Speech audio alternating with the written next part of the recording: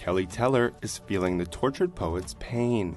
After listening to her BFF Taylor Swift's newly released album, The Tortured Poets Department, the 31 year old actress is sharing her initial reactions. On April 19th, Keleigh posted a video of herself cuddled up with her dog Bugsy with So Long London, a track from Taylor's album, as the backdrop. She captions the video, quote, I founded the club she's heard dread things about. What's everyone's favorite song and why? Hashtag TTPD. One user comments, I can do it with a broken heart. Keleigh replies back, As a friend, this one hurts so much. She goes on stage, sad or happy, it's so incredible. And it looks like other fans agree, as her response got over 9,000 heart reactions so far. And indeed, the lyrics to the track follow the Grammy winner as she continues to perform while dealing with a breakup.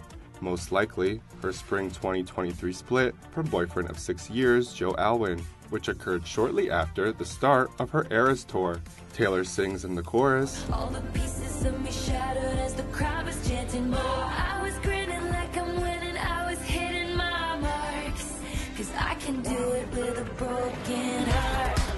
In fact, the Tortured Poets Department's 31 songs often air on the sadder side, a fact that both Keleigh, who is married to actor Miles Teller, and fans took note of. As an empath, this album wrecked me, a fan adds on Keleigh's video, to which the actress replies, Same.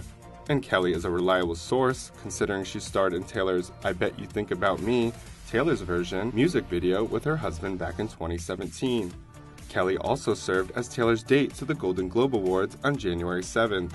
The two took selfies together and posed for photos in the bathroom as Keleigh jokes Romy and Michele and Tree take the globes. A few weeks later, Keleigh gave fans an epic behind the scenes look inside Taylor Swift's VIP suite as she cheered on her current boyfriend and Kansas City Chiefs tight end, Travis Kelce, in their victorious game against the Baltimore Ravens that brought them to the 2024 Super Bowl.